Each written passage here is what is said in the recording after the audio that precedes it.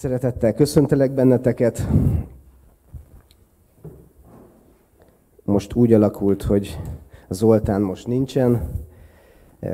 Remélem, hogy ez nem probléma a számotokra, és nem kapcsoljátok le az internetet, hanem meghallgatjátok, amit az Úr a szívemre helyezett. Egy olyan témával szeretnék foglalkozni ma, ami régóta foglalkoztat ha egy szóval kéne eh, jellemeznem, akkor az jutott eszembe, hogy eh, féktelenség. Bizonyára mindannyian vezettek autót, vagy akik vezetnek autót, vagy legalábbis ültetek autóban. Eh, egy nagyon-nagyon fontos eszköze a fék az autónak. Jó, a gáz természetesen menni kell előre, ahogy itt előbb beszéltük, ez egy jó szlogen, de azért nem rossz, hogyha van fék is az autón. Mert ha csak a gázt nyomjuk, akkor lehet, hogy hát akkor olyan következményei lehetnek az előre menetelünknek, ami még problémába is torkolhat. És sokszor elfeledkezünk róla, de nagyon nagy szerepe van a féknek, a fékeknek az életünkben és a sorsunkban is.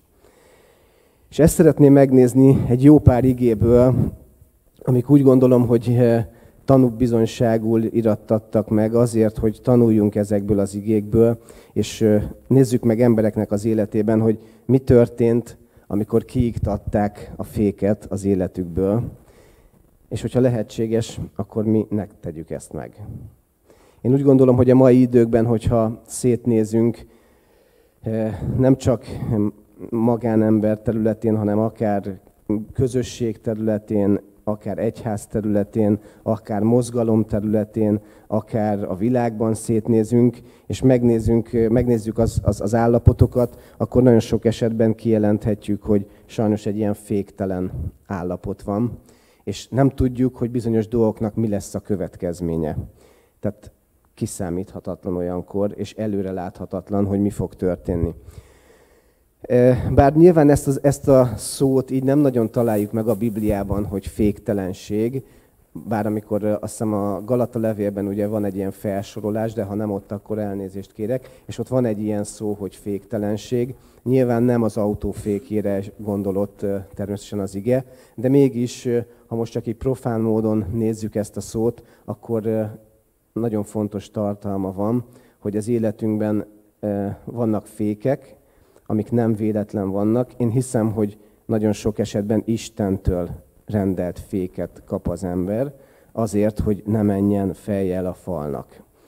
Ezt nem könnyű bedolgozni, és nem könnyű feldolgozni, mert amikor valaki lendületet kap, és aki vezet autót, és tudja, hogy elindul az autó, az egy jó érzés, főleg ha valakiben van egy kis versenyszellem, akkor azt tudja, hogy milyen jó egy ilyen autóval menni, de nagyon fontos, hogy a megfelelő kanyart be tudjuk venni, és nagyon fontos, hogy a megfelelő célt el tudjuk érni. És én hiszem, hogy mindenkinek vannak ilyen kanyarok az életében, amikor fontos, hogy le tudjon lassítani, és vannak olyan, van olyan cél, amit el kell, hogy érjünk, nem csak természetes, nem csak földi, hanem természetesen mennyei is. Tehát ezért eh, ezt fogjuk megnézni, hogy az egyházban, gyülekezetben, közösségben, családban, egyéni életben eh, mik vagy kik lehetnek ezek a fékek, és hogy tudunk erre odafigyelni, és hogy tudjuk ezt szabályozni, hogy ne iktassuk ki az életünkből. Egy nagyon közismert igét szeretnék felolvasni, az 1 Sámuel 15. tizedik részétől, és én az egyszerű fordításból fogom olvasni, hogyha nem haragszotok. 1 Sámuel 15. rész, 10 23-ig. Ezután az örökkévaló szólt Sámuelnek, már bánom, hogy Sault királyát tettem, mert hátat fordított nekem. Nem végezte el, amit parancsoltam neki. Sámuel ezen annyira felháborodott, hogy egész éjjel kiáltott az örökkévalóhoz. Másnap azonban már korán reggel Saulhoz indult. Közben megtudta, hogy Saul elment Kármelbe, hogy ott emlékoszlopot állítson magának, majd utána tovább ment Gilgába. Sámuel elment Saulhoz, aki éppen égő áldozatot mutatott be az örökkévalónak, abból a zsákmányból, amelyet az amálekiektől szerzett. Amikor Sámuel megérkezett, Saul köszöntötte. Áldjon meg téged az örökkévaló, Teljesítettem, amit az örökkévaló parancsolt. Akkor miféle lyukbégetést hallok a táborban, és mit jelent ez a marhabőgés, amely most is hallatszik? kérdezte Sámuel. Ezeket az állatokat a katonák zsákmányolták az amálekiektől. A színe javát megkímélték, hogy Istenednek, az örökkévalónak áldozzuk a legszebb juhokat és marhákat. De a többit tényleg mind elpusztítottuk, válaszolt Saul. Ugyan, hagyd ezt, vágott közbe Sámuel. Hadd mondjam el, mit mondott nekem az örökkévaló a múlt éjjel. Mit mondott? kérdezte Saul. Sámuel ezt válaszolta. Látod, az örökkévaló Izrael királyává tett téged, Izrael törzseinek a vezetője lettél, pedig milyen kicsinek és jelentéktelennek érezted magad. Az örökkévaló bízott meg azzal, hogy indulj el és harcolj az amálekiek ellen, amíg teljesen ki nem pusztítod ezt a gonosz népet.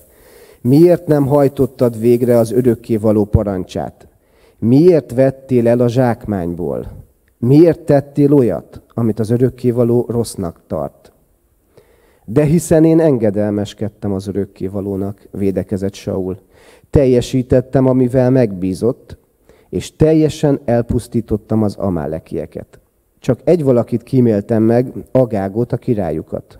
A katonáim nem ölték le az összes zsákmányolt állatot, ahogy kellett volna, hanem megkímélték a színe javát, hogy feláldozzák Istenednek, az örökkévalónak itt Gilgában.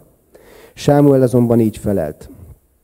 Vajon örömmel fogad-e az örökkévaló égő áldozatot és véres áldozatot engedelmesség helyett?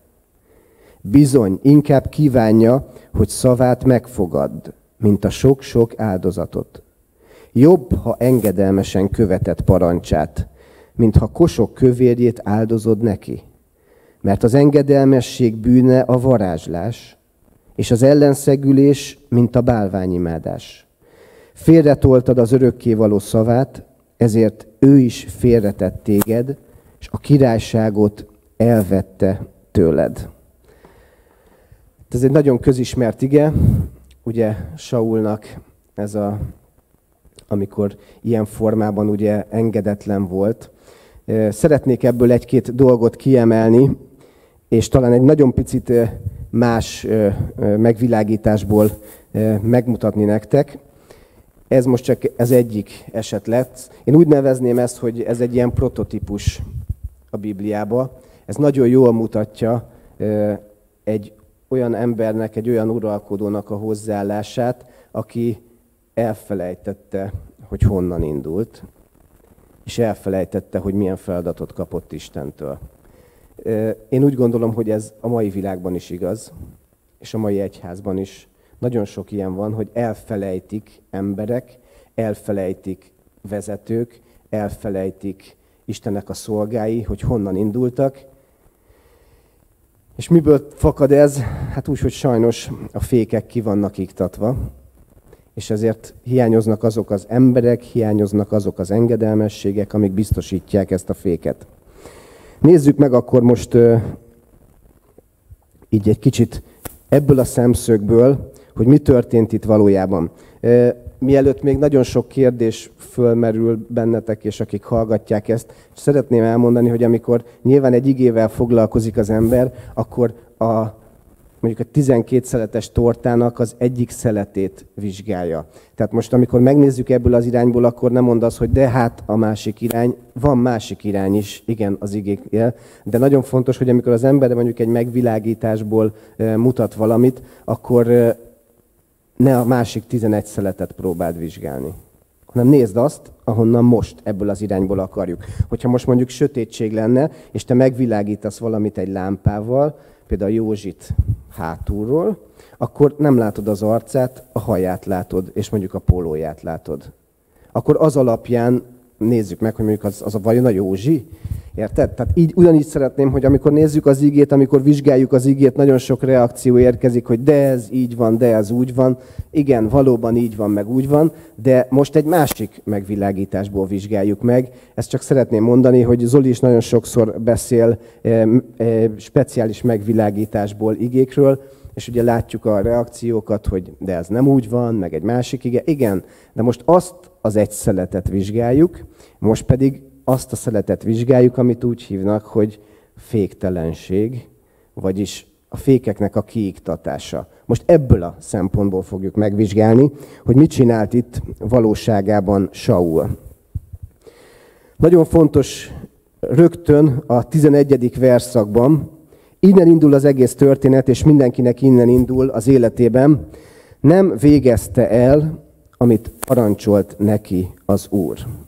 Tehát innen indul az egész történet, hogy nem végezte el, amit Isten parancsolt neki. Fölteheted a kérdést, honnan tudom, hogy mit parancsolt nekem az Isten? Nem tudom, hogy neked mit parancsolt. Azt neked kell tudni, hogy mit parancsolt neked az, az Isten. Neked kell tudni, hogy mi az elhívásod, és abban kell engedelmeskedni. Saul ezt nem tette meg, egyértelmű üzenetet kapott az Istentől, Sámuelen keresztül, hogy mit kell tenni, ezt nem végezte el. Ebben az állapotban, amikor ugye ilyen, ilyen állapotba kerülünk, eh, nagyon fontos, hogy meglássuk, hogy ilyenkor sokszor az ember saját magával kezd el foglalkozni. Ez amúgy már a második, első-második jele, hogy nem végzi az ember az Istennek a parancsát, magával kezd el foglalkozni. Nézzétek meg, mit csinált Saul. Ugye elment Kármelbe, és egy emlékosztopot állított fel magának. Persze, tudom, hogy ez nem volt ritkaság abban a korban, más is állított föl emlékoszlopot, és nyilván a királyoknál ez, ez egy megszokott gyakorlat volt, nem csak királyoknál, mert ha megnézed az igébe, akkor akár Jákobnál és mások is csináltak ilyen emlékoszlopot. Csak nem mindegy a sorrend. Először magának állított egy emlékoszlopot, utána pedig mit csinált? Utána bemutatta az áldozatot, amit Sámuelnek kellett volna bemutatni. Ugye nagyon fontos itt kiemelni, hogy mindezek mellett, hogy fele, felállította az emlékoszlopot, és mindamellett, hogy nem teljesítette Isten parancsolatát, és mindamellett, hogy bemutatta az áldozatot, amikor megérkezett Sámuel, így köszöntötte, áldjon meg téged az örökké való, teljesítettem, amit az Isten parancsolt nekem. Ebből az igéből érthető meg az, amikor nem tudsz valakit meggyőzni, hogy nem úgy van, ahogy ő gondolja. Nem teljesítette, nem hallgatott az Istenre, saját magával foglalkozott. Bemutatta az áldozatot, és azt mondta, hogy teljesítette, amit az Isten parancsolt. Ugye most ide kanyarodhatunk a mai időkbe, és megnézhetjük, hogy mit tudsz kezdeni egy olyan szolgálóval, aki azt mondja, hogy azt csinálom, amit az Isten parancsolt nekem. És közben látod, hogy saját magának állít emlékoszlopot, a saját érdekeit teszi első helyre, és mégis meg van róla győződve. Tehát ez, ez egy ilyen prototípus, ez azt jelenti, hogy ez sajnos előfordul, és ez mindenkivel megeshet, hogyha nem figyel oda. Utána azt mondja, hogy ezeket az állatokat a katonák zsákmányolták az amelikektől, tehát a katonára fogják, katonákra fogja, hogy a legszebb juhokat és marhákat kiválogatták. Azt mondja utána Sáma, hogy ugyan, hagyd már ezt. Tehát nem mondott igazat teljes mértékben. Tehát ha lehet mondani, akkor elindult azon a lejtőn, amivel kiiktatta, maximálisan kiiktatott minden féket az életéből. Mi volt ez a fék? A leges legfontosabb, engedelmeskedni Isten beszédének. Tehát a féktelen állapot az egy olyan állapot az életben, amikor nem engedelmeskedsz az Istennek. Beláthatatlan következményei lesznek. A következő állapot magával foglalkozott, ráadásul ugye hazudott is, mert azt mondta, hogy minden teljesített, nem teljesítette, amikor ugye Sámuel ezzel szembesíti, elsőre még akkor se esik le neki a, a tantusz, pedig azért Sámuel nem kiskaliberű Isten embere volt, ő egy nagyon komoly proféta volt, és nagyon komoly Istennek az embere volt. Ha még tovább megyünk itt, a, ahogy tovább olvassuk, akkor azt látjuk, hogy de hiszen én engedelmeskedtem az őrökké valónak, teljesítettem, amivel megbízott, és teljesen elpusztítottam az amalekieket, csak egy valakit hagytam meg a királyt. Tehát még, még egyszer bizonyítja, hogy ő mégiscsak engedelmes volt, és mégiscsak megcsinált mindent. Feltehetjük a kérdést, Mit tudsz egy ilyen emberrel kezdeni? Semmit. Találkoztál már ilyennel? Találkoztál már ilyen közösséggel? Én mindent úgy csinálok, ahogy az Úr mondja. Persze messziről látszik, hogy nem, de mégis. Én mindent úgy csinálok. Én mindent megtettem, amit az Isten rám bízott. Ez főleg ugye ilyen, ilyen egyszemélyes vezetésnél. Ki mondja meg? Ki a fék? Ki mondja meg, hogy ez nem jó? Hát itt, itt ebben az esetben Sámuel volt az, aki ezt megmondta, de nyilván az Isten igéjével, az Isten igéje szembesíti az embert azzal, hogy nem engedelmeskedik az ő akaratának. És itt ugye elhangzik, hát talán a, a mindegyik igen nagyon komoly, és mindegyik igen nagyon-nagyon fontos, de ez egy meghatározó e, ige, de nem abból a szempontból sok esetben, amire ugye a gyülekezetben, meg régebben, ugye a karizmatikus mozgalomban is kivetítették ugye ezt a varázslás címszó alatt. Ez valóban így van, csak ugye nagyon fontos, hogy az égő áldozat és a véres áldozat nem helyettesíti az engedelmességet, de szeretném elárulni, hogy más se helyettesíti az engedelmességet. Most az új szövetségben vagyunk, nincsen véres áldozat. Semmilyen áldozat nincsen. Milyen áldozat van? A szíved. A szívedet tudod az Isten elé vinni. De semmivel nem tudod ezt helyettesíteni. Nem lehet helyettesíteni fényekkel, nem lehet helyettesíteni technikával, nem lehet helyettesíteni színpaddal, eh, felvonulással, semmivel nem lehet helyettesíteni az engedelmességet. Mondhatod, lehet mondani, tehát látjátok ebből a történetből bármit lehet mondani, hogy engedelmes voltam, megtettem, de nem tette meg.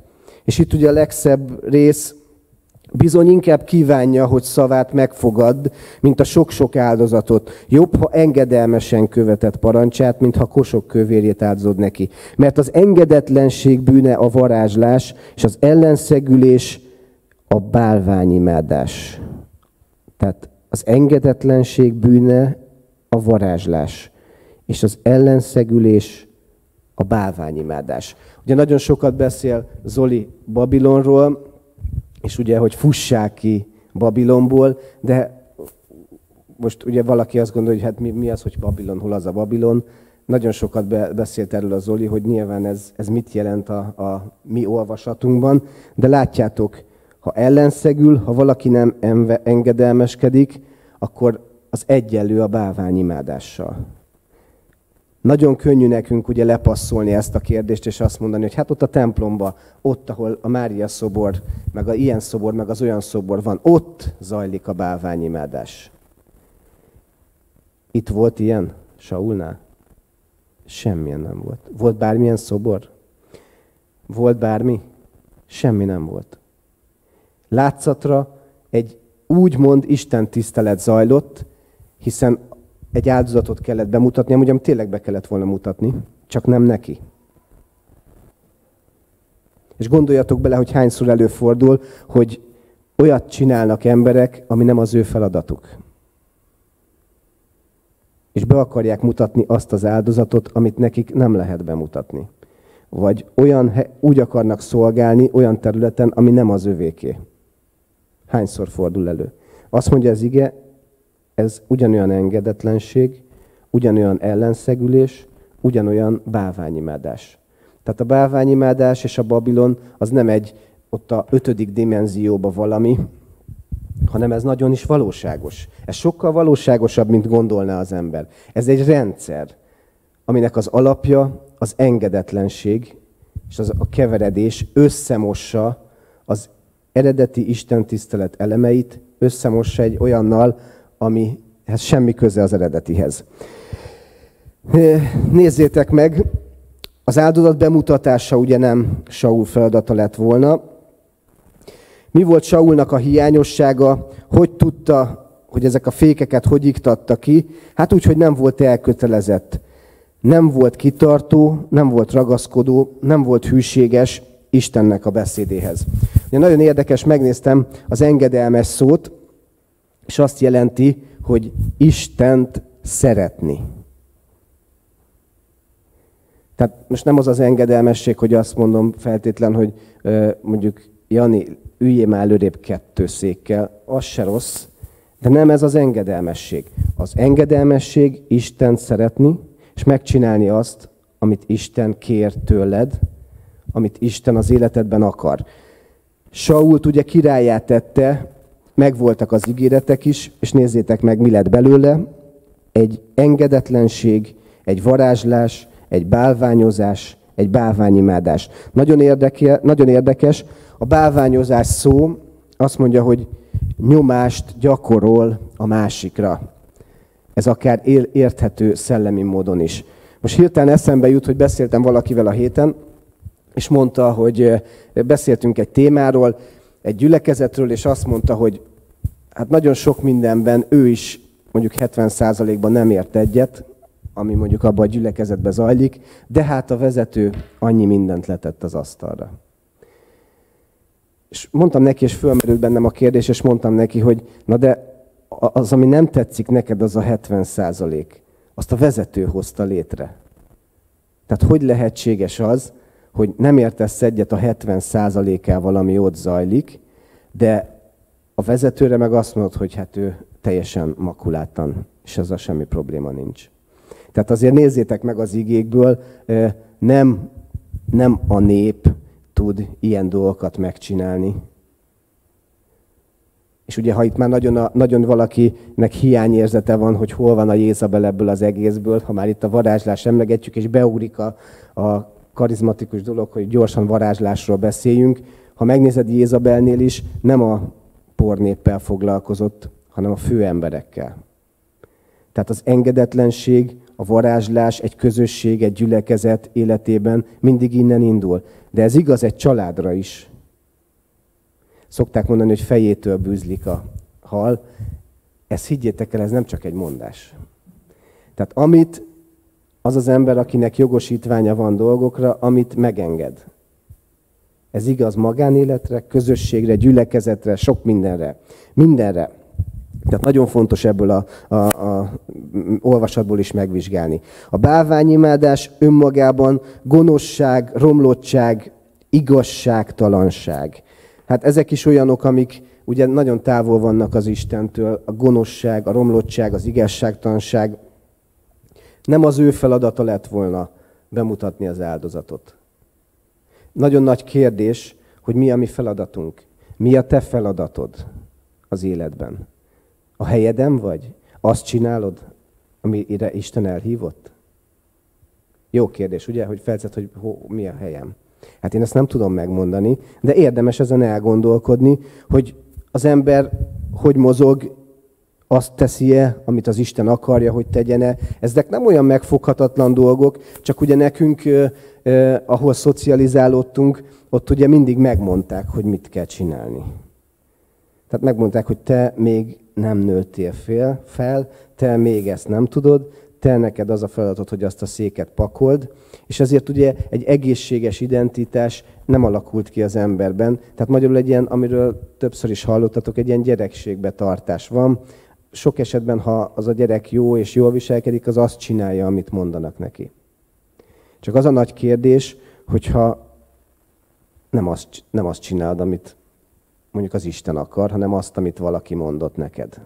És ez, ez nem tekintélyromboló, higgyétek el, hanem ez az, hogy ez egészséges engedelmesség, az Istennel való közösség, az engedelmesség, az Istennek a szeretete. Itt értsétek ezt meg, hogy milyen fontos, hogy kialakuljon az emberbe. Hogy alakul ki az Istennek a szeretete? Úgyhogy engedelmeskedsz. Saul ezt nem tudta megtenni, de sajnos nem csak Saul, hanem még sokan mások, és azért szeretnék erről beszélni, hogy mi ne legyünk ilyenek. Szeretnék egy másik igét is megmutatni nektek, az Egy királyok könyvéből, Egy királyok könyve, 11. Megnézzünk egy-két prototípust, hogy ne essünk bele ezekbe a hibákba, ne essünk bele ezekbe a csapdákba.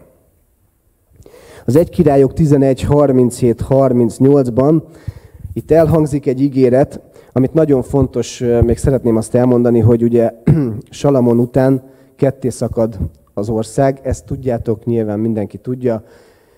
Az egyik része ugye a tíz rész Jeroboám, a másik része ugye Salamon fiának, Roboámnak a kezébe kerül. Ugye ilyen még nem fordult elő, tudjuk, hogy miért fordult ez elő, mit csinált Salamon, aminek a következménye lett ez. És van egy ember, akit úgy hívnak, hogy Jeroboám, aki hát egy ilyen valamilyen segítője volt, most csak így fogalmazok, Salamonnak, aztán valamiért Salamon ugye elüldözte őt, mert ugye megtudott róla dolgokat, hogy milyen ígéretek vannak vele kapcsolatban. Ugye elmenekült az egyiptomiakhoz, és ott várta, hogy mi fog történni. De szeretném elmondani, hogy milyen ígéretet kapott Jeroboám. Csak most röviden, jó? Majd utána tudtok nézni a többinek, előzményeknek, hogy mi történt utána, de most csak a lényeget. 1 királyok 11.37. Téged pedig, Jeroboám, fölemellek, és királyát teszlek Izrael fölött, hogy uralkodj mindenen, amit a szíved kíván. Ha engedelmeskedsz mindannak, amit parancsolok neked, ha az én utamon jársz, ha azt teszed, amit én jónak látok, és megtartod rendelkezéseimet és parancsaimat, ahogyan szolgám Dávid tette akkor veled leszek, és maradandó királyi dinasztiát építek neked, ahogyan Dávidnak is építettem, és neked adom Izraelt. Ez egy nagyon komoly ígéret. Gondold bele magad, te vagy Jeroboám, tudom, hogy nem te vagy, de mégis becsukod a szemed, és azt mondod, hogy te vagy Jeroboám, se híre, se hamva, hogy most te honnan keveredtél elő, nem is ez a lényeg, és kézed el, kapsz egy ilyen ígéretet Istentől. Ez egy nagyon komoly ígéret, amit elhangzik ennek az embernek. Tehát felemel, királyát tesz, hogy uralkodjál mindenen, amit a szíved kíván. Ugye egy feltétele van mindennek. Ha, ha engedelmeskedsz. Ha engedelmeskedsz. Ezzel párhuzamosan, ugye van egy ilyen ígéretünk, ezzel párhuzamosan ott van Roboám, aki Sa, Sám, Salamonnak a fia, és nézzétek meg, hogy ő mit csinál. Megint csak szeretném ezt a szót használni, remélem nem, olyan, nem lesz olyan idegen, ilyen prototípus. Itt van két uralkodó, és nézzétek meg majd a következményeket, hogy mi történik az életükben. Ugye van Roboám, összegyűlt egész Izrael, nem fogom most az egészet felolvasni, egy királyok 12-be. Ugye Roboámot királyá akarnák tenni, ezt ugye meghallotta Jeroboám is, a másik, akiről előbb beszéltünk, aki ezt az ígéretet kapta, hazatért Egyiptomból, és a nép ugye szól Roboámnak, Salamon fiának, Apát Salamon király nehéz terheket rakott a vállunkra.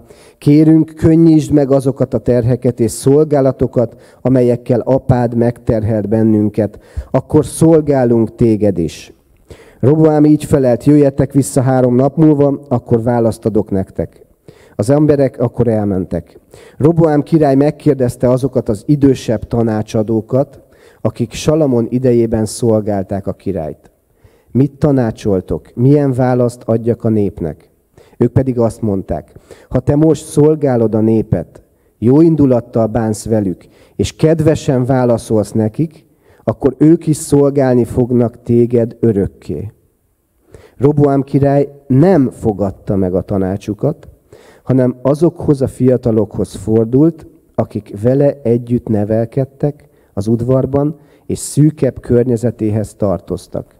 Őket is megkérdezte, mit tanácsoltok, mit válaszoljak a népnek. Azt kérik tőlem, hogy könnyítsen meg a terheiket, amelyeket apám rakott a vállukra. Akkor az ifjak, akik Robámmal együtt nőttek fel, így válaszoltak. Ez feleld nekik, nekem a kisújam is vastagabb, mint apám dereka. Ha apám nehéz terheket rakott rátok, én még súlyosabb igát teszek a nyakatokba. Ha ő korbáccsal fenyített titeket, én majd skorpiókkal foglak ostorozni benneteket. Nézzétek meg, mi történt itt.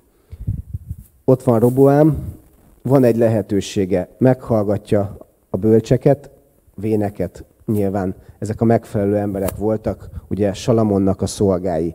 És azt tanácsolja, hogy legyen jó indulatú a néphez, ne vessen királyuk még nagyobb terhet. És mi történik?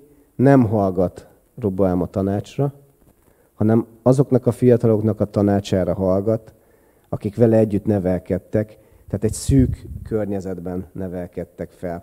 Ha lehet így mondani, akkor hát egy ilyen mindenféleképpen egy ilyen bekorlátozott környezetbe, mert nem igazán voltak tisztában valósággal. Nézzük meg, Roboám folytatta Salamon hagyatéket, amely komoly bűnbe vitte Izraelt.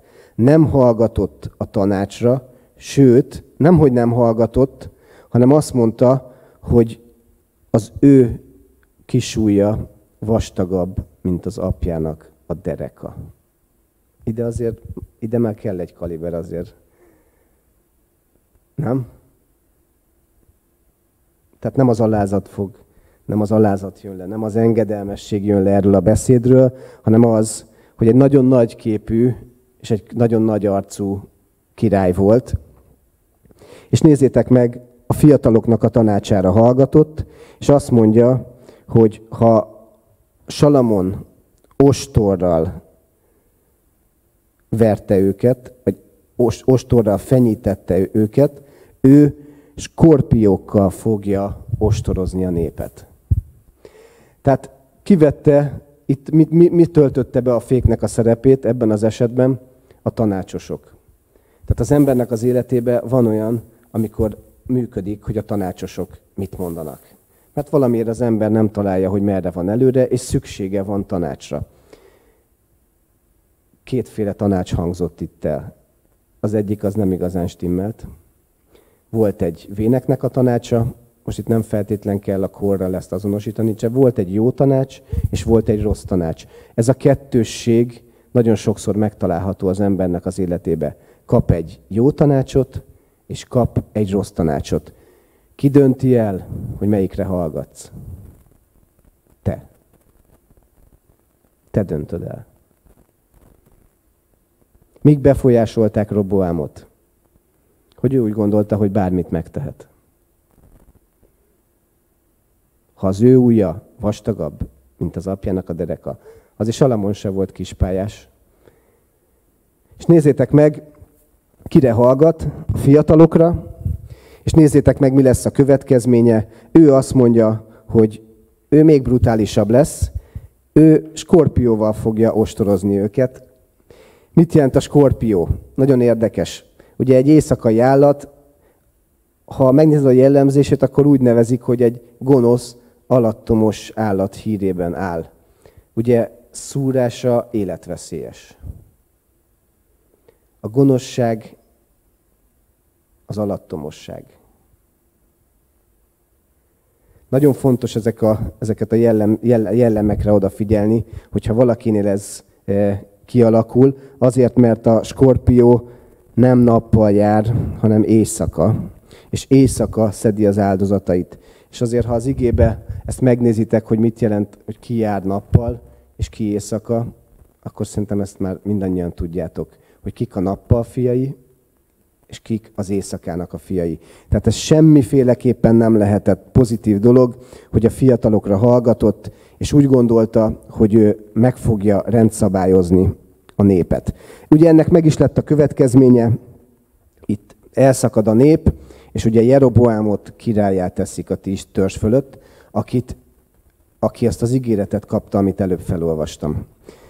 Nagyon fontos, még szeretném ezt kihangsúlyozni, hogy ugye azokra a fiatalokra hallgatott Roboám, akik nagyon régóta a környezetében voltak, és nem voltak tisztában a valósággal. Én nagyon sok olyan emberrel találkoztam már, akár szolgáló, akár gyülekezet, nem voltak tisztában a valósággal. Tehát nagyon fontos, hogy tisztában legyél a valósággal.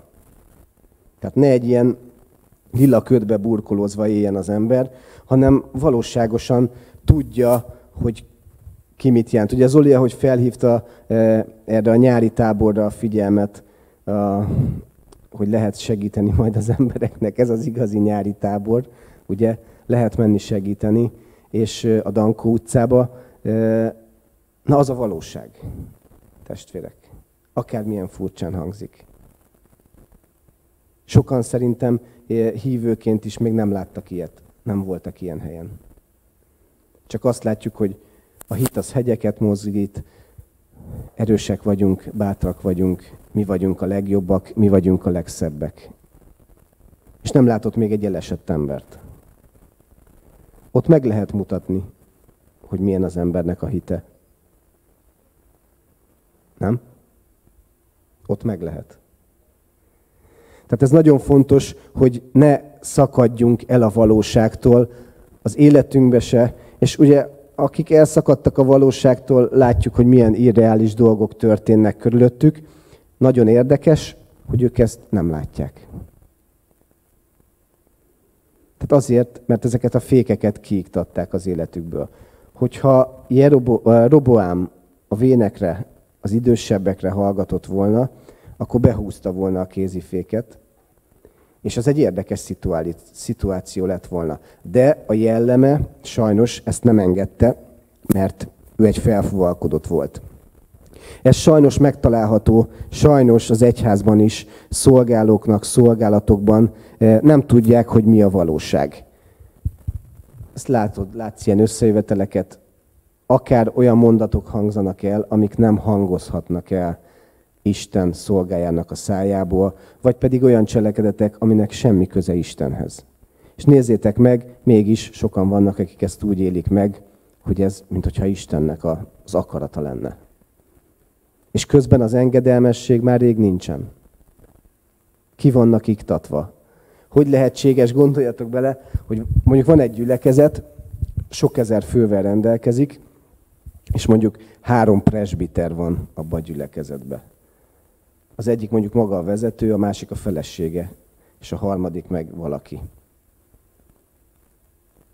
Szerintetek milyen fékek vannak itt beiktatva? Nem lehet. Ez max a családot kéne így elvezetni, hogy férj, feleség, és akkor megbeszélik a dolgokat. Nem? De gondolj bele, hogy egy, egy, egy gyülekezetet úgy, hogy valaki ezt bitorolja ezeket a címeket, ezt így nem lehet. Itt nincs engedelmesség, itt nincsenek fékek. Itt egy féktelenség van, aminek nem tudjuk, hogy mi a következménye. Csak látjuk sokszor, és nézünk nagyot.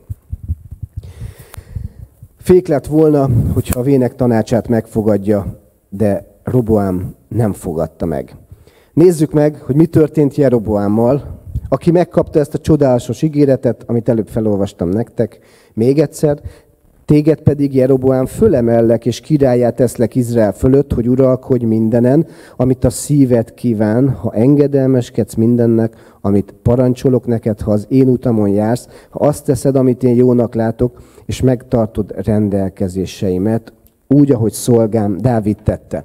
Nagyon fontos itt kiemelni, hogy sok emberrel beszélgettem már erről, hogy egy ilyen elfogultság van, amikor mondjuk beszélünk egy Isten emberéről, egy elhívással kapcsolatban, és azt úgy gondoljuk, hogy ez egy ilyen örökérvényű. Ő nem hibázhat, ő nem csinálhat semmi rosszat, nem mondhat rosszat, hanem ugye azt mondjuk, hogy ő, ő, ő, hát ő, ő úgy ezt megteheti, meg, meg ő csak jót csinál, meg hát az nem is úgy van igazából, ahogy azt mondták. Tehát ugye nagyon fontos letisztázni, hogy azért, mert van az embernek mondjuk egy elhívása, kapott egy elhívást, az még egy dolog, de az be is kell futni azon végig kell menni. Nézd meg, milyen ígéretet kapott Jeroboám.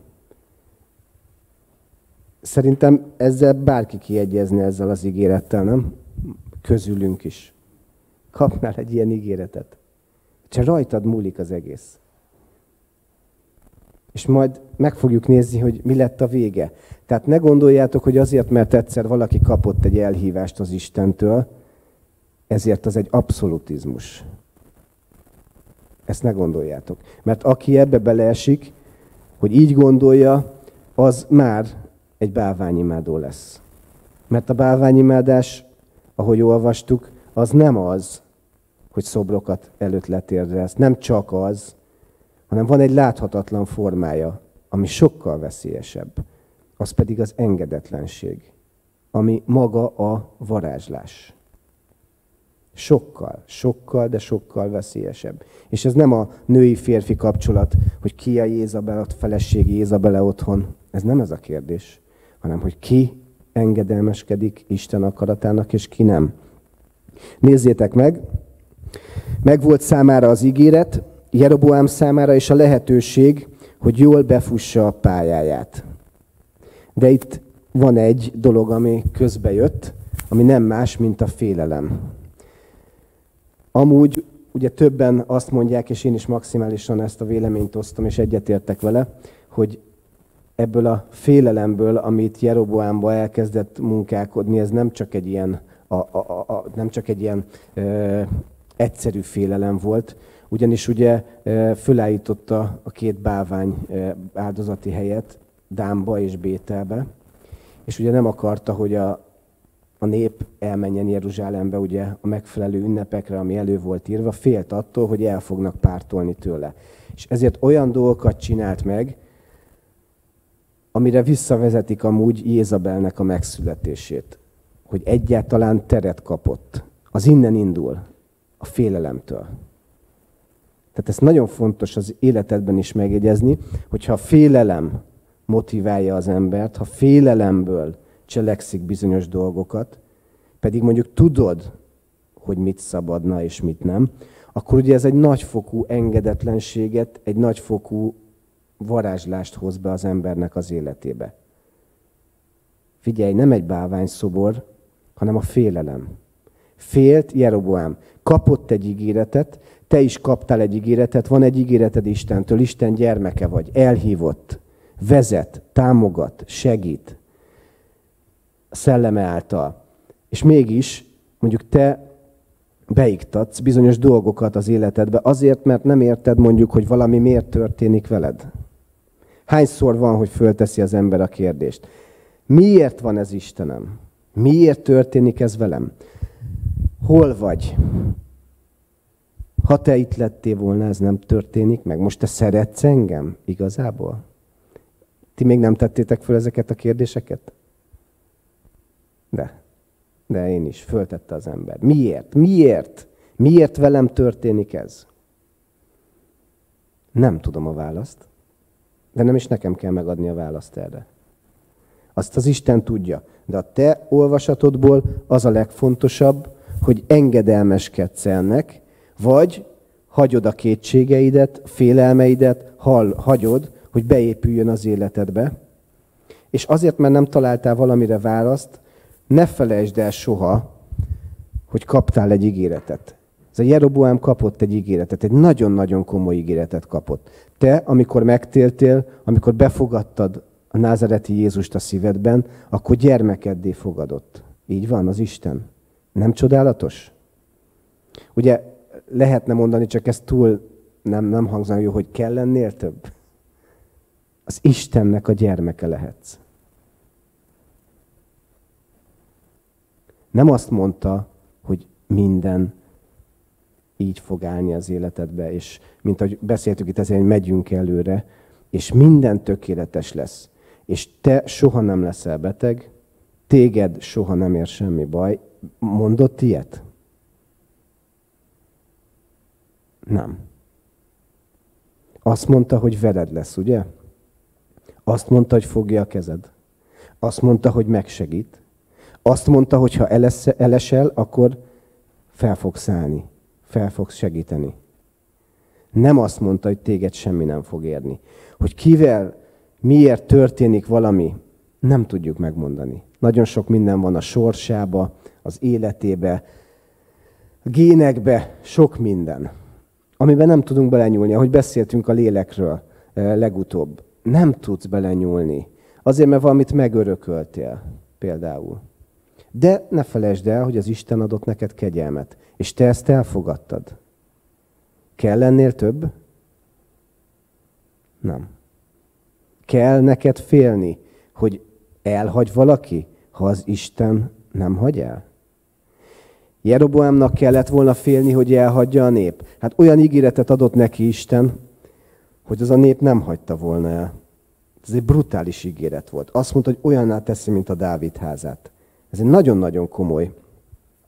Nem a hibátlanságról szól ez, azt még szeretném nagyon kihangsúlyozni, és ez nem arról szól, hogy valaki nem követhet el e, hibát. Nézzétek meg, Dávid azért megcsinált egy-két érdekes hajmeresztő dolgot, ugye? És mit mond róla az ige? Szívem szerinti férfiú. De még szeretnék egy még szebbet olvasni nektek.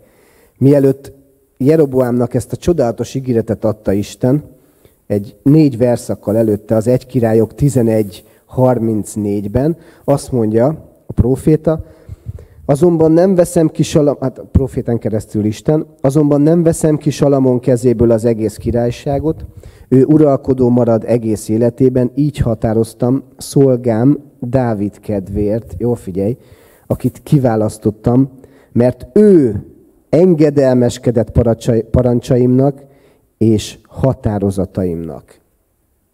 Tehát azt mondja, hogy ő engedelmeskedett az Isten parancsolatainak és határozatainak. Akkor már záporoznak a kérdések felém, és akkor mi van Betsavéval, és akkor mi van a népszámlálással, és akkor mi van a többi dologgal.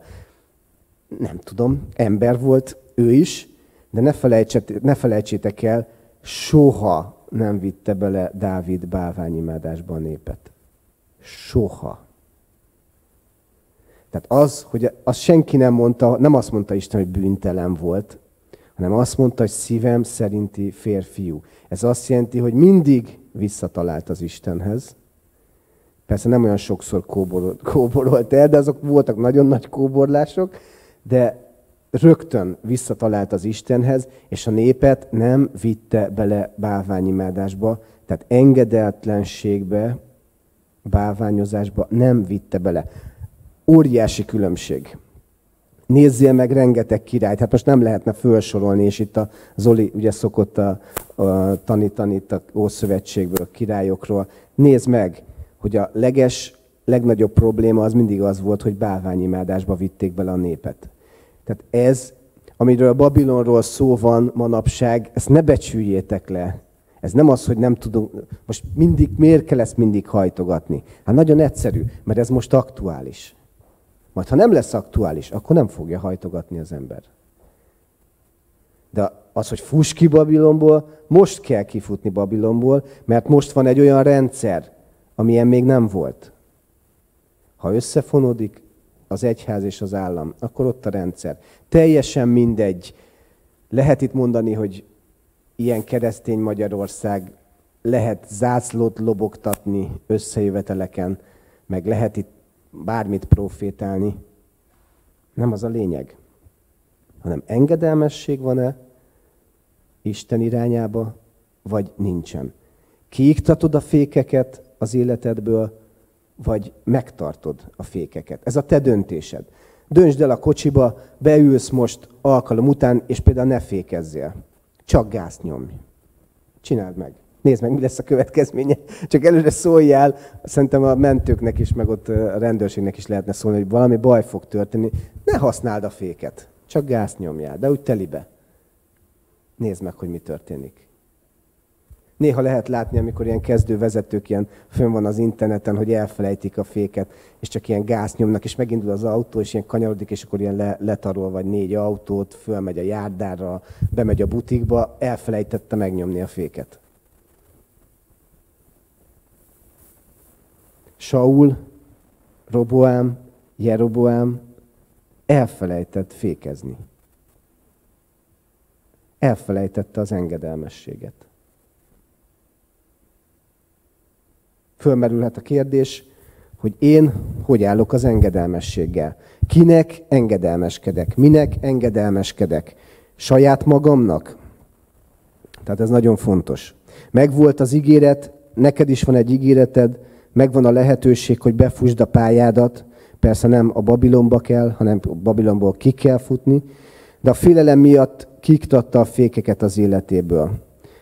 Olyan cselekedeteket csinált, hogy a nép aljából papokat választott, a fiai elzavarták a rendes papokat, bárki lehetett pap. Ilyeneket csinált Jeroboám. Van egy ilyen ígérete, gondolj bele, és nem tud épp észszel fölfogni, hogy ez hogy gyan lehetséges ez. Nagyon jól tudta, hogy bárki nem lehet pap. Nagyon jól tudta. Nagyon jól tudta, hogy nem lehet fölállítani az aranyborjút. Mi lett a következménye Mózesnél is, amikor fölállították? De mi lett a következménye? Tehát nagyon jól tudta. És mégis valami olyan erőt gyakorolt rajta, ami miatt ezt megtette, és jó, úgy látta, hogy ez jó. Úgy látta, hogy ez helyes. Nem látsz ma ilyet? Hogy valakinek a szolgálata a saját szemei, szemei előtt tökéletes. Mert mindig azt hallod, hogy én, én, én, én ezt csináltam. De hát énből nem állíthatod fel az aranyborjút. Énből nem tehetsz be bárkit papnak. Nem teheted meg, mert akkor nem engedelmeskedtél Istennek. Mi történt Jeroboámnál? Az elhívásából egy nagyon komoly báványimádás alakult ki Izraelben, aminek egy nagyon súlyos következménye lett.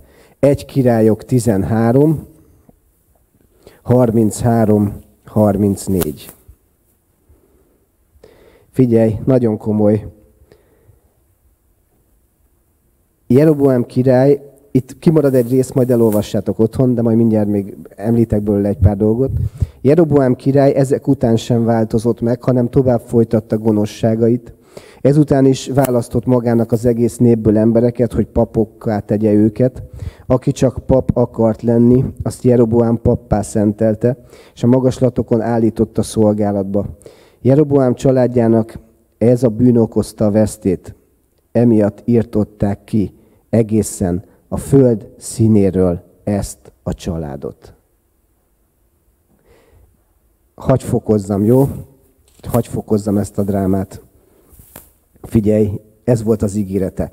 Téged pedig, Jeroboám, fölemellek és királyát teszlek Izrael fölött, hogy uralkodj mindenen, amit a szíved kíván, ha engedelmeskedsz mindennek, amit parancsolok neked, ha az én utamon jársz, ha azt teszed, amit én jónak látok, és megtartod rendelkezéseimet és parancsaimat, ahogyan szolgám Dávid tette, akkor veled leszek, és maradandó királyi dinasztiát építek neked, ahogyan Dávidnak is építettem, és neked adom Izraelt.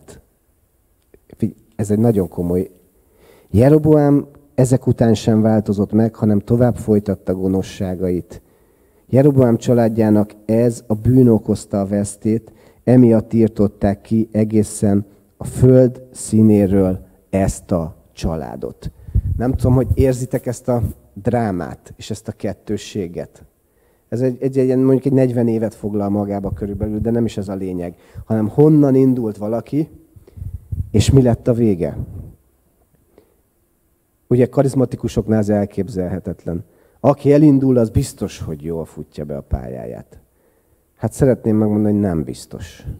Egyáltalán nem biztos, mert hogyha kiiktatja az Istentől rendelt fékeket az életéből, az Isten ígérte meg, hogy milyen dinasztiává teszi. Itt pedig a cselekedetek miatt nézzétek meg, mi lett. Azt mondja, hogy emiatt írtották ki egészen a föld színéről ezt a családot. Dráma a köbön. Ennek ugye nagyon fontos üzenete, hogy mi ne legyünk ilyenek. Tehát ne legyünk ilyen féktelenek. Ne legyünk olyanok, akik kaptunk egy ígéretet az Istentől, mindegy, ha Isten gyermeke vagy, és bármit, bármit csinálsz, amit rád bízott, akkor legyél, legyél ahhoz hűséges. Soha ne fuvalkodjon fel az ember. Az ember. Tehát ez egy nagyon, nagyon, nagyon, nagyon komoly következmény volt, ami szerintem ennél nagyobb dráma nincs. Ugye nagyon-nagyon fontos, hogy Dáviddal ellentétben ugye mi történt. Mondom, nagyon szeretném kihangsúlyozni, itt nem a hibátlanságról és nem a bűntelenségről szól ez a történet, hanem az engedelmességről. És nagyon nagy különbség van, mert ugye az ige azt is mondja, hogy az igaz elesik, de feláll. Ugye, ha most nagyon szőrszálhasogató akarsz lenni, akkor miért esik el az igaz? Hát mit tudom én? Mert azért, mert ember vagy, és vannak az embernek gyengeségei, és vannak az embernek olyan dolgai, amire segítségre szorul. És nagyon fontos, hogy ezt megértsük. Nézzünk meg még egy történetet, megint csak egy prototípust szeretnék mondani. Ritkán szoktunk ebből a könyvből olvasni, de egy jó kis könyv, az Eszternek a könyve. Az Eszter könyve, amit a Nehémiás és a Jobb között találsz meg. Eszternek a könyve. Most ugye szó volt királyokról, uralkodókról, megnéztük Sault, megnéztük Roboámot, Jeroboámot, és most nézzünk meg, nézzünk meg egy hölgyet, ne hagyjuk ki a hölgyeket ebből a csapatból, nézzük meg, hogy itt mi történt az Eszter könyvének az elején. Eszter könyve 1, 10-től 18. A hétnapos lakoma utolsó napján, amikor a király szíve felvidult a bortól, megparancsolta hét szolgájának, hogy vezessék színe elé Vásti királynét királyi koronával a fején. Meg akarta mutatni magasrangú vendégeinek és az egész népnek Vásti szépségét, mert valóban gyönyörűség volt csak ránézni is. Most itt nem olvasom, hogy hogy hívták a szolgákat. Mikor azonban a szolgák átadták a király parancsát, Vásti királynénak, ő nem engedelmeskedett, és nem akart a királyhoz menni. Ekkor a király haragra lobbant, és fort benne az indulat. Mivel az volt a szokása, hogy minden dologban tanácskozott a bölcsekkel, akik tudták, mit kell tenni, ismerték a törvényeket, és gyakorlottak voltak az ítélkezésben. Most is hozzájuk fordult, és tanácsot tartott velük. Itt felsorol hét bölcset, a király tehát megkérdezte őket, a törvény szerint mit kellene tenni Vásti királynéval, aki nem engedelmeskedett a király udvari szolgái által küldött parancsnak. Memukán így válaszolt a király és a többi fejedelem előtt. Vásti királyné nem csak a király ellen védkezett, hanem minden fejedelem és a hasvérus király egész birodalmának minden népe ellen is. Mert amit a királyné tett, azt az egész birodalomban minden asszony meg fogja tudni, és akkor ők is megvetik és lenézik a férjüket. Azt fogják mondani a férjüknek, hiszen Vásti királyné sem fogadott szót, amikor Ahasvérus király megparancsolta neki, hogy menjen hozzá. A mai napon az előkelő méd és perzsa asszonyok mind látták és hallották, amit Vásti tett és majd ők is ugyanezt fogják mondani a férjüknek, a birodalom vezetőinek. Ebből pedig véget nem érő megvetés, felháborodás, meg viszály keletkezik a férjek és a feleségek között. Hát ez se egy egyszerű. Ha itt csak pusztán erről lenne szó, hogy nem engedelmeskedett ugye Vásti, csak így alapjáraton, és utána megyünk tovább, de azért látjátok ebből, hogy sokkal komolyabb következményei lettek annak, hogy Vásti nem engedelmeskedett a királynak. Ez nem csupán annyi, hogy nem ment azért, mert ő hivatta. Tehát az engedel, ez az engedelmesség, ha lehet így fogalmazni, akkor az a, nyilván a, egy szellem, a szellemnek a gyümölcse, hogyha engedelmes lesz az ember. Tehát ez ez nem úgy van, hogy most ha akarok engedelmes vagyok, ha akarok nem vagyok engedelmes. Nem. Ennek nagyon komoly következményei vannak. Nézzétek meg, ott van Vásti, és ott van Eszter. Most nem fogjuk felolvasni, mert ti olvassátok el otthon, de hát ismeritek Eszternek a történetét. Két prototípus. Az egyik nem engedelmeskedik, nézzétek meg, mi a következménye. A másik engedelmeskedik, és nézzétek meg, hogy mi lesz a következménye, ugye, akit tudott, megszabadult utána. Tehát nézzétek meg, hogy miből mi lesz. Vásti egy prototípus, és ugye nagyon jól mondták a bölcsek, és a király is nézzétek meg, hallgatott a bölcsekre, és azt mondták, hogy nem csak a király ellen védkezett, hanem minden fejedelem, és az egész birodalmának minden népe ellen. Tehát ezért, ha van egy engedetlenség, mondjuk vezetői szinten, ne gondoljátok, hogy ez csak az ő életére van hatással. Tehát ne gondoljátok, hogyha van valakinek az Isten irányába egy engedetlenség, bármilyen szempontból, akkor az az ő magánügye. Mert itt sokszor hallani, hogy valakinek az a magánügye például, hogy mekkora vára van, meg nem tudom micsoda. Nem. Ez nem a magánügyed. Hogy engedelmeskedsz hogyha te felelősséggel tartozol mások iránt, és ez igaz a családra is amúgy, nem csak a gyülekezetre, nem csak a közösségre. Ha te felelősséggel tartozol, akkor egyáltalán nem mindegy, hogy engedelmeskedsz, vagy nem engedelmeskedsz. Azért, mert ezt látni fogják, és ez rosszabb, mint a koronavírus. Ezt higgyétek el. Ez sokkal rosszabb. Ez ellen nincsen vakcina. Semmi nincs ez ellen. Tehát azt mondja, hogy itt az egész népet meg fogja fertőzni, egy véget nem érő megvetés, felháborodás, viszály keletkezik a férjek és a feleségek között. Ezt csak szeretném mondani, hogy az engedetlenségnek ilyen következménye is vannak. Tehát ez, ez nagyon-nagyon fontos, hogy ezt megértsük, hogy egy szolgálatban, egy szolgálónak az életében nem a magánügye. Értitek? Hát nem a magánügye bizonyos dolgok. Mindegy, hogy mit mond. Az nem a magánügye. Azért, mert eleve szolga is, és ez, ezzel felelősséggel tartozik mások irányában. Nem tehetsz meg bármit. Nem teheted meg. Nem teheted. Azért, mert annak nagyon-nagyon komoly következményei lesznek. Hát itt a komoly következménye az volt, hogy ugye Vásti lapátra lett téve, és akkor elfoglalta más a helyét Eszter. Tudjuk. És nyilván azt most nem kell bemutatni, hogy ugye mi ment keresztül utána Eszter, de ez egy nagyon fontos. Tehát ugye itt a fék az az engedelmesség volt, ezt a féket kiiktatta Vásti az életéből. Ugye nagyon fontos megérteni, amikor az engedelmességről beszélünk, hogy ez nem mindig ilyen kézzel fogható dolog. Ha az 1 Mózes 2-höz mentek, 1 Mózes 2,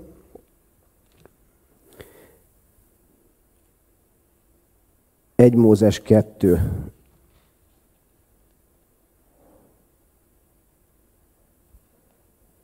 Lehet, hogy kettő Mózes lesz, de mindjárt megtalálom.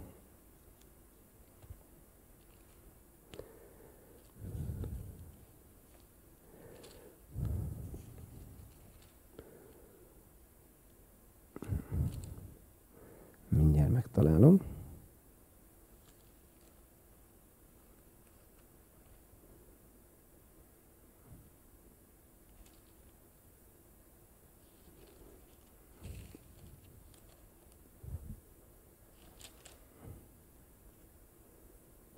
Igen, bocsánat, én mondtam rosszat elnézést.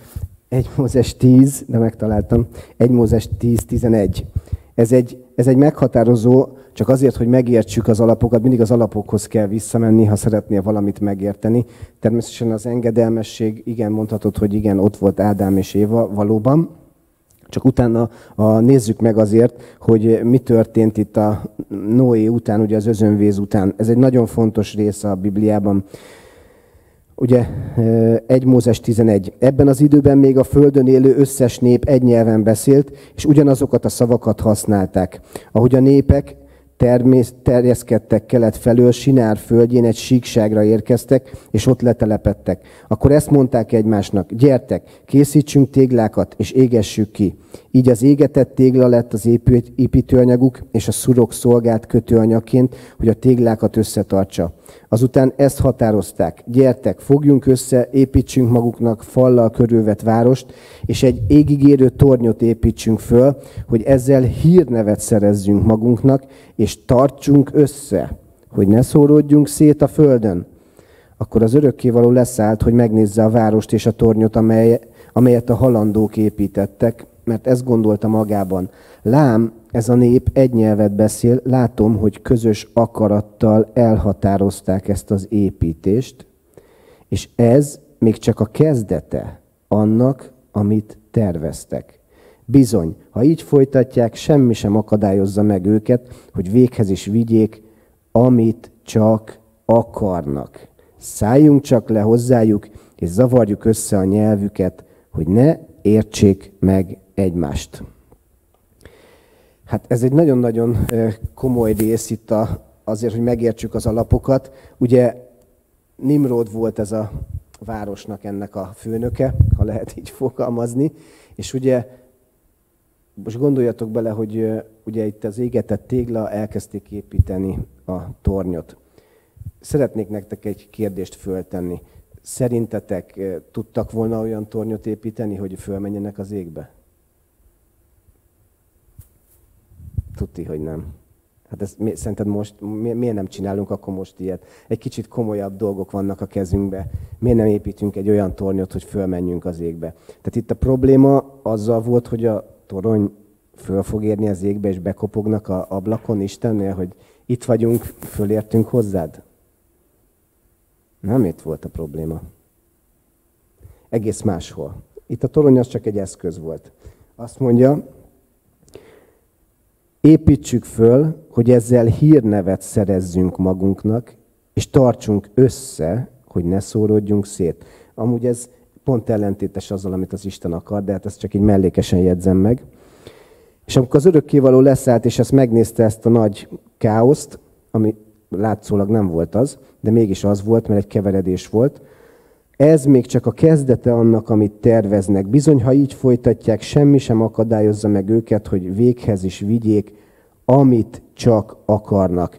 Itt ugye volt egy nagyon nagy fokú túlértékelés, és volt egy nagyon nagy fokú felmagasztalása az énnek, az én, én, én, az egónak, az emberi nagyravágyásnak, hogy a művével ugye az égig érjen, és ő is olyan akar lenni, mint az Isten. Ismerős nektek ez, hogy ki, akart, ki akarta ezt? A sátán.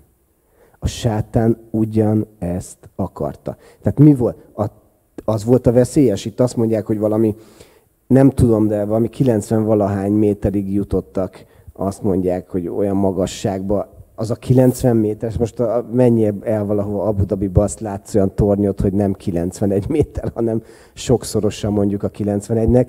De nem is ez a lényeg, hanem nem a téglával volt itt a kérdés, meg hogy ők bárhova, ha mai napig építették volna, szerintem és a Nimrod élne, akkor se jutott volna föl az égbe, ha mai napig építette volna téglából azt a tornyot.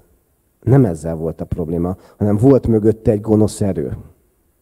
Ezzel volt a probléma. És nézzétek meg, hogy mit mond, mit mond az Ézsaiás 14.13, Ézsaiás 14.13, Ézsaiás 14.13.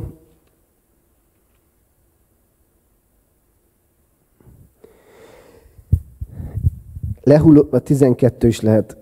Lehultál az égből fényes hajnalcsillag, aki népeken tapostál, elterültél, mint a kivágott fa, pedig szívedben azt forgattad, felemelkedem a mennybe, fölemelem trónomat Isten csillagai fölé, felülök a szent hegyre, messze északon, ahol az Istenek összegyűlnek, fölemelkedem a felhők fölé, és olyanná leszek, mint a felséges. Szinte majdnem egy az egyben megegyezik azzal, csak nem így szó szerint, amit a Nimrodékot produkáltak. Tehát ebből látszik, hogy ez is egy prototípus. Na most 2022-ben is életre lehet kelteni egy prototípust. 2021-ben is, 2023-ban is. Hol volt a sátánhoz képest Nimrod időbe sokkal odébb, ugye? Nem is tudjuk. Rengeteggel. Hol volt az egészhez képest Saul? Hol volt az egészhez képest Vásti? Hol volt az egészhez képest Jeroboam és Roboam? De van egy közös. Van egy közös pont az engedetlenség. Az köti össze az egészet. Az engedetlenség. Olyan akar lenni, mint a felséges. A túlértékelés és az önmagunk fölmagasztalása kiiktatja a fékeket az életünkből. Ugye ezért nagyon fontos az alázatosság, amiről már sokszor beszéltünk. Hogy ne csak ilyen legyen valami látható fék is, Eszembe jutott ugye a Bálám esetében mi volt a fék? Szamár. Ütötte, verte. Szerencsétlen szamarat. Pedig az tudta, hogy mi a dörgés.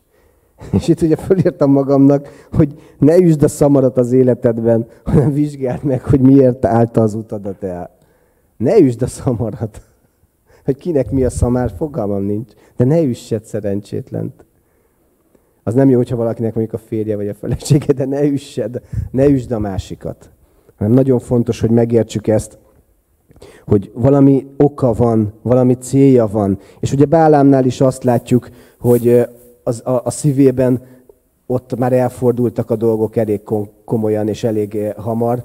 És ugye az Isten menjél, nem menjél, megengedte Isten, nagyon jól tudta, hogy ő mit akar, azért, mert a szívében már eldöntötte Bálám. Az egy dolog, hogy nem mondhatta ki az átkot, de a szívében már eldöntötte, és ugye ez nagyon jól mutatja, hogy a végén csak adott ugye olyan tanácsot, hogy mivel lehet törbe ejteni az Izrael fiait. Ugye sokszor megkérdezi az ember, amit már beszéltünk, miért van ez, miért van az, miért történik veled ez, nem tudom. Lehet, hogy csak egy szamár van az életedben ott. És valamiért, valamiért vissza elállja az utadat. Nem tudom megmondani. Lehet, hogy egy figyelmeztetés. Csak az ember ezt nem, nem szabad büntetésként. Ilyenkor hol, hol az Isten, miért nem segít? Ezt nem szabad büntetésként felfogni. Amikor bekerül egy fék az embernek az életébe. Az Isten nem bünteti meg az embert. Így. Nincs büntetés. Egy következmény az egy más dolog, de Isten nem bünteti így. A bűnöknek, bűnnek ugye van következménye, de az Isten nem bünteti meg. Az Isten azt mondja, hogy ott van veled, az Isten az pedig segít neked. Hogyha el fogjátok olvasni ezt a Jeroboámnak a történetét, akkor még egyetlen egy dologra szeretném a végén felhívni a figyelmeteket, csak azért, hogy ne kerüljünk ilyen szerepzavarba. Volt itt egy proféta, akit így az egyszerű fordításban nagyon jó megfogalmazás, hogy Isten embere. Ez úgy, ez úgy szeretem ezt a kifejezést, mert ez úgy többet foglal magába, mint hogy valaki azt mondja, hogy proféta, az közben lehet, hogy hamis proféta, vagy ezt csinálta, vagy azt csinálta, vagy ilyen pásztor, olyan, nem tudom én micsoda. Itt az Isten embere, ugye az valószínűnek tartjuk, hogy akkor Isten akaratát képviseli, és megteszi azt, amit az Isten mond. Ez így is volt, mert ugye megbízta az Isten, hogy ugye profétáljon Jeroboám ellen, tehát az, az ellen az ember ellen, akit felolvastam nektek előbb, hogy milyen ígéretet kapott, és utána pedig ugye mi lett ebből az egészből a félelem miatt. És ugye profétál, azt majd el fogjátok olvasni a, a, az egy királyok 12-ben, 13-ban, az örökkévaló szólt egyik profétának, Isten egyik emberének Júdában, hogy menjen Bételbe. A proféta el is ment, és éppen akkor érkezett oda, amikor Jeroboám a bételi oltár mellett állt, és tömjént füstölögtetett rajta. Isten ember ekkor az örökkévaló szava szerint ugye kiáltotta és profétál, profétál Jeroboámnak. Nagyon érdekes, hogy itt még történik, itt eh, elszárad a keze, utána meggyógyul, de nem ez a lényeg, hanem ez a proféta, meg akarja vendégelni Jeroboám ezután az eset után a profétát. És azt mondja itt a nyolcadik versben, 13.8, egy királyok 13.8, figyelj, vagy 13 hét, a király ezt mondta neki, tehát Jeroboám ezt mondja a profétának. Légy a vendégem, gyere velem, ülj az asztalomhoz, aztán majd megjutalmazlak. De az így válaszolt. Ha a királyságot felét adnád is nekem, akkor sem mennék veled a házadba.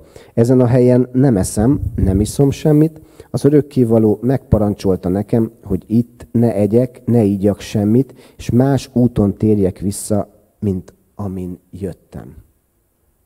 Figyelj, kapott a proféta, profétál Jeroboám ellen, és kapott Istentől egy impulzust, hogy ő ne egyen, ne igyon, ne fogadja el senkinek a vendégeskedését, hanem egy másik úton, ne azon, amelyen jött, hanem egy másikon menjen vissza. És tartja magát is, pedig azért a király vendégelte volna meg, biztos jó lett volna amúgy, de tartja magát ehhez. Mi történik ezután? Elindul ez a proféta egy szamáron, és utána az történik, hogy itt ugye Bételbe, itt van egy öreg proféta, aki meghallja a fieitől, hogy ez a proféta, ez a fiatal proféta, amit profétált Jeroboám ellen, és hogy ugye nem ment se ide, se oda, hanem megy ugye vissza egy másik úton. Ezt megtudja a fiaitól, és azt mondja, hogy hát ő fogja magát, és mégis elmegy utána. Figyelj, elmegy utána a fiatal proféta után, aki tartotta magát még a király ellenébe is, és elmegy ez a proféta, és azt mondja neki, ez egy öreg proféta, így nevezi. Én is proféta vagyok, mint te. Egy angyal jött hozzám, és ezt az üzenetet hozta az örökkévalótól. Hozd vissza azt az embert a házadba, és lásd vendégül, hogy veled egyen és igyon. Ez azonban nem volt igaz, az öreg proféta hazudott a fiatalabb profétának. Csak szerettem volna ezzel azt, és ráadásul ez a fiatal proféta elment vele utána, és ez a fiatal proféta emiatt meg is halt. Volt egy nagyon-nagyon komoly ígéret ennek a profétának is, Istentől a fiatal profétának. Elment, profétált az oltár ellen, nem fogadta el a király vendégeskedését, de egy másik proféta becsapta. Úgy, hogy hazudott neki. Tehát nem maradt hűséges ahhoz, amit Isten mondott neki. Tehát ez nagyon jól mutatja, hogy az engedelmesség nem embereknek kell engedelmeskedni. Nem egy, aki azt mondja, hogy másik, hogy az Úr nevébe jött hozzád, hanem ahhoz kell hűségesnek lenni, amit az Isten mondott neked. Nem, te, nem, nem írhatja valaki ezt fölül, akár érzelmi alapon, hogy hatást gyakorol, hogy én, én egy másik proféta vagyok most, és kézed szólt az Isten nekem. Hallottál már ilyet? Én már hallottam ilyet. Hát ilyen fölül, kontra, rekontra, mint ahogy a kártyajátékban van. Isten azt mondta nekem, nekem ezt mondta, nekem még nagyobbat mondott. De nem az a kérdés, hanem hogy személyesen neked mit mondott. És azt mondta, hogy ne egyél, ne így. Azon az úton ne menj vissza egy másikon. Akkor nem mondhatta a másiknak az ellenkezőjét. Hogy de, nekem angyal szólt.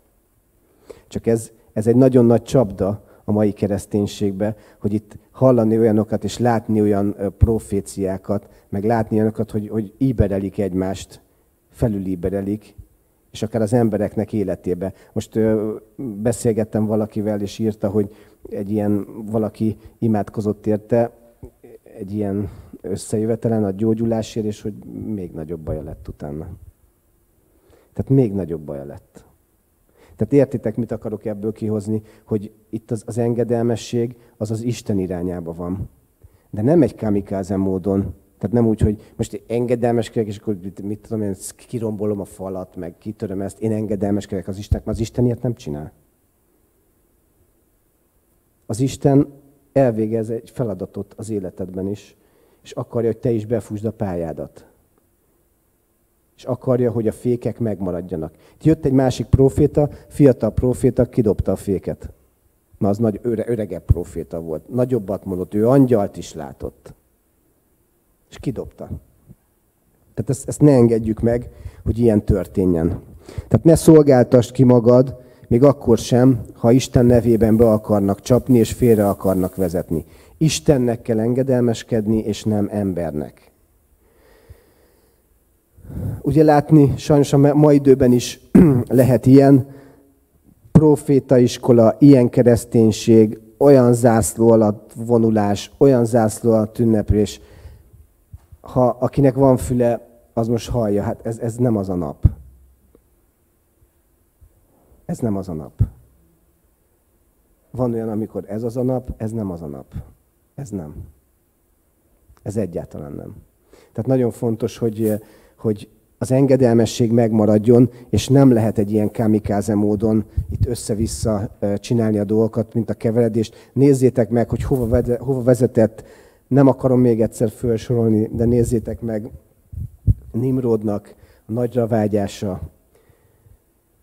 abszolút sátáni volt. Nézzétek meg, hogy Saulnak az engedetlensége, nézzétek meg Vástinak, milyen hatást gyakorolt volna a népre. Nézzétek meg Roboámot, megörökölte Salamontól, nézzétek meg Jeroboámot, mi történt, nézd meg.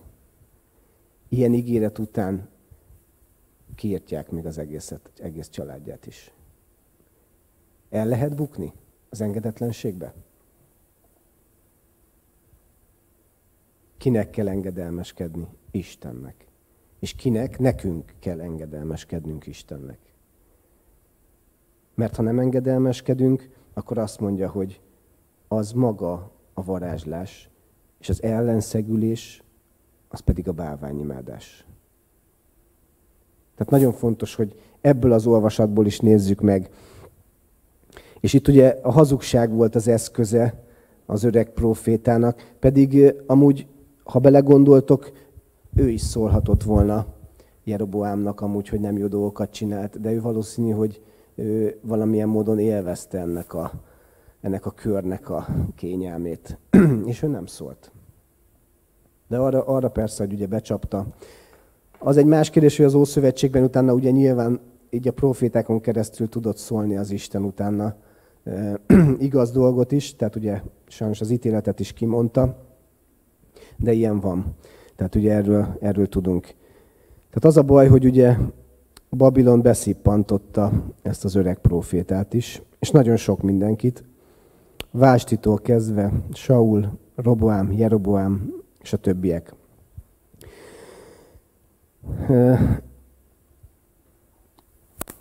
A summája az egésznek az, hogy még az apostolok cselekedetében is azt olvasod, csak azért, mert azt, hogy esetleg azt mondjátok, hogy csak az Ószövetségből olvastam igét. Amúgy rengeteg ige van ezzel kapcsolatban az Új Szövetségben is. De az Abcsel 15-ben, amikor ugye a, a tanács megegyezik, hogy ugye a pogányok, akik pogány háttérből megtértek, ugye milyen dolgok legyenek ugye rájuk kiszabva, akkor azt mondja, hogy a, mitől, mitől kell óvakodniuk, akkor azt mondja a bálványimádástól, a paráznaságtól, a fulvaholt állattól és a vérevéstől. Ezt a négy dolgot sorolták föl. Ez amúgy önmagában is nagyon sokat mutat. Ezt a négyet. Ott van közte a bálványimádás. Tehát ez egy nagyon komoly a bálványimádás, nagyon komoly a babiloni szellem, ez nem játék, és nagyon fontos, hogy ne, ne vegyítsük eh, ne vegyítsük a dolgokat, hanem próbáljuk meg engedelmesek lenni Istennek, engedelmesnek lenni, és valóban ne a vásti,